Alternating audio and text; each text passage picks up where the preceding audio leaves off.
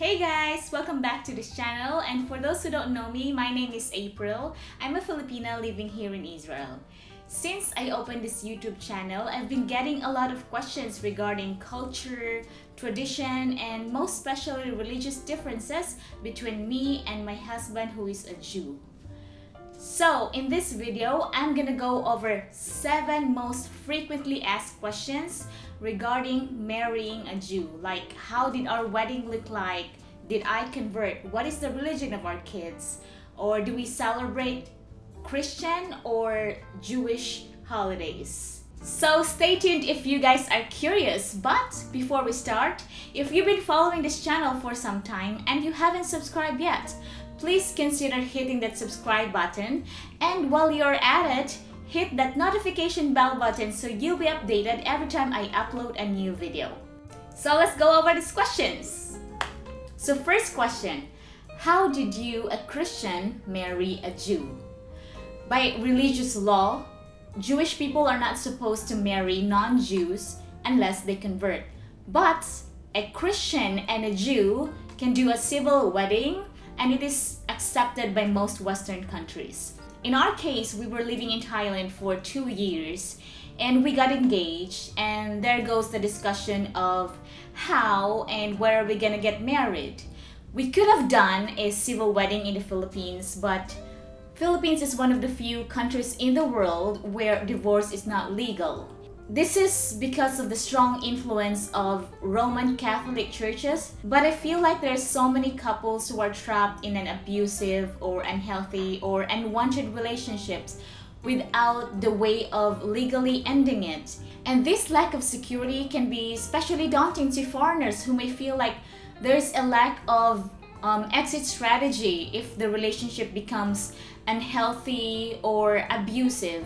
And me and Tomer shared the same opinion in that matter. So we did a civil wedding in Bangkok and after that, of course, we reported the marriage to both of the consulates of Philippines and Israel. So then our marriage was, of course, um, legal in both countries. And then a few months later, we moved to the Philippines where we did a symbolic wedding. I call it a symbolic wedding because in that time we were actually already married on paper but we wanted to do a symbolic ceremony around our friends and families. So the wedding was actually officiated by a filipino guy but this guy was the most jewish filipino guy we know in cebu who really attends to um, shabbat or friday gatherings in chabad or jewish community center. And because obviously a real rabbi cannot cannot marry us. So we had a wedding that blends Christian and Jewish wedding tradition. Question number two, did you convert? What is the kid's religion? So according to traditional Jewish law, a person's Jewish status is passed through the mother. So children are Jewish if born to a Jewish mom. Otherwise, a ritual of a Jewish conversion is necessary and if one really wants to be one, that can be a very long road to take. So I did not convert. I did not intend to and Tomer never asked me to. With our kids, we decided to expose them to both Christianity and Judaism and we want them to make their own choices when it comes to their religious identity when they are older. I mean, as, as they grow older, they can decide which religion, if any, resonates with them personally. But since we live here in Israel, our kids follow Judaism more closely, but there's still some exposure of Christianity's beliefs and practices. So we're okay with putting up Christmas tree for Christmas, but at the same time, we also celebrate Jewish holidays like like Passover and Hanukkah. And since our kids go to school where they get exposure to a lot of Jewish costumes and tradition, I feel like my kids have a stronger sense of Jewish identity, which I think is pretty normal. Question number three, do you celebrate Jewish holidays? Um, Tomer is a secular Jew, and even before he met me, he celebrated Jewish holidays in a more secular or cultural way. It was more it was more about social or traditional aspect rather than the religious aspect of it. So in our family, we still celebrate Jewish traditions and costumes like we light candles for the Hanukkah and we do the Passover Seders, but there are a lot of Jewish holidays that we don't do that we don't really observe like some people on Yom Kippur which is which is like the holiest holidays for Judaism. Some most people some people really fast. They don't eat. But for us we don't observe that. But rather we do it in like the more traditional way which is like taking the kids kids out in the road because in that day there are no cars allowed to drive for the full day. So everybody just take their kids out with their bicycle and just for the whole day be on the road trips like that. So we celebrate it in a more cultural way other than the religious aspect of it. Question number four. What language do you speak at home and how do you handle the language barrier? We adopted the one person, one language method in raising our children. And with this method, each parent consistently speaks only one of the two languages to the child. So in our case, I only speak to them in English and Tomer only speaks to them in Hebrew. I am a native Bisaya speaker, which is one of the many dialects in the Philippines, but I feel like speaking to them in English will give them an advantage in the future, especially that children in their school system here are not being exposed to English since Hebrew is the medium of teaching here in school. And children are only exposed to English in school in the later years of the primary level. But I can tell that my kids Hebrew is so much um, so much stronger than their English because obviously they go to a Hebrew speaking school and when they go out it's a Hebrew speaking community so it's just natural that way that their Hebrew is gonna be much stronger than their English. So in the beginning they do a lot of mixed languages where they respond with mix of English and Hebrew but later on it's like a code switching where they automatically switch to Hebrew when they're talking to their to their dad and they automatically switch to English when they're having a uh, conversation with me and that is a very impressive skill.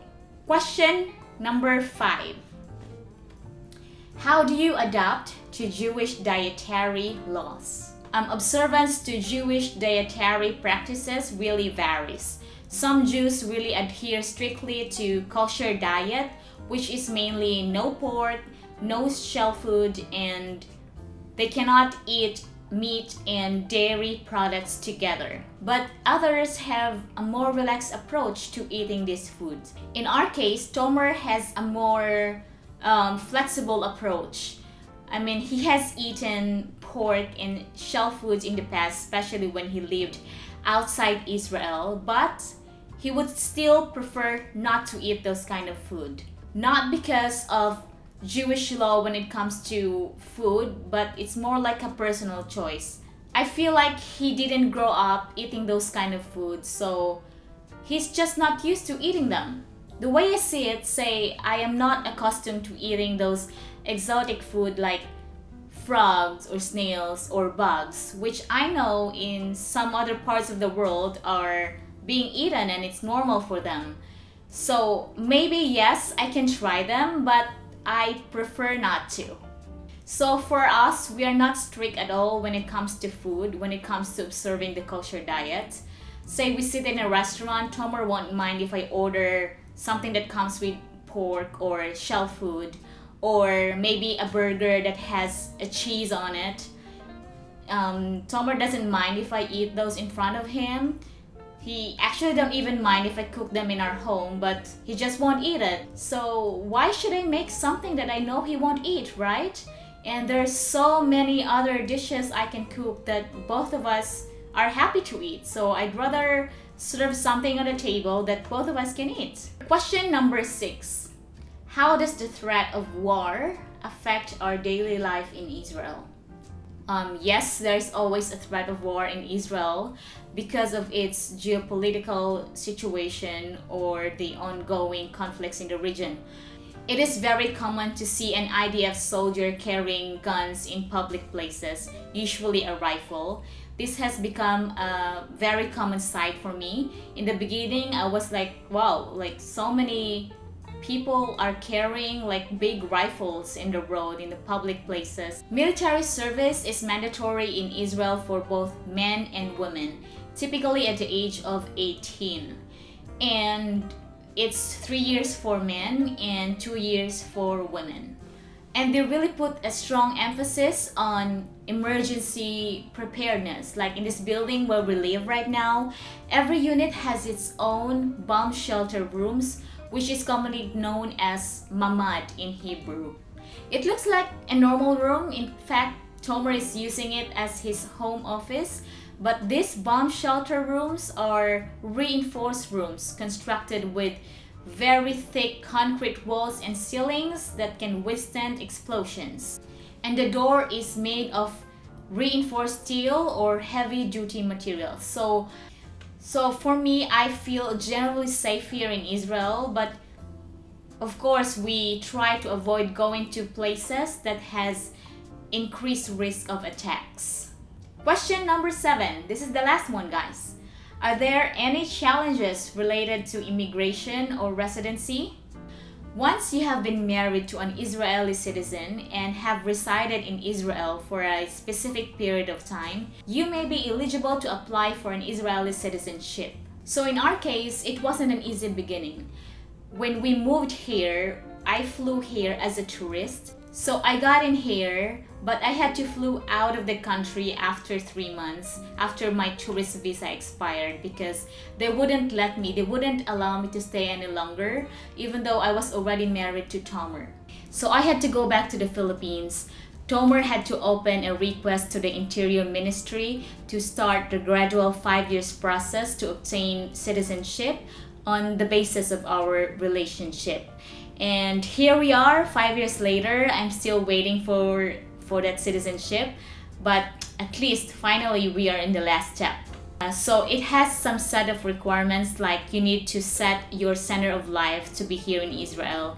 And you cannot live outside Israel for many months. But even before becoming a resident, you can get a temporary resident status where you get the rights and benefits, including healthcare or job opportunities. But yeah, the road we took was very long, complex, and gave us a lot of headache. But with the right patience and proper documents, we are finally in the last step. And hopefully, before the year ends, I will have it. So that's it guys. Hopefully I answered all your questions about marrying a Jew. And if you guys have more questions, Feel free to drop them in the comment section below and I will try my best to answer them.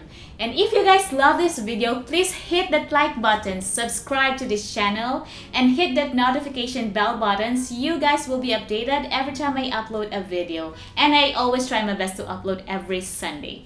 Thank you guys for watching and I'll see you in the next one. Bye!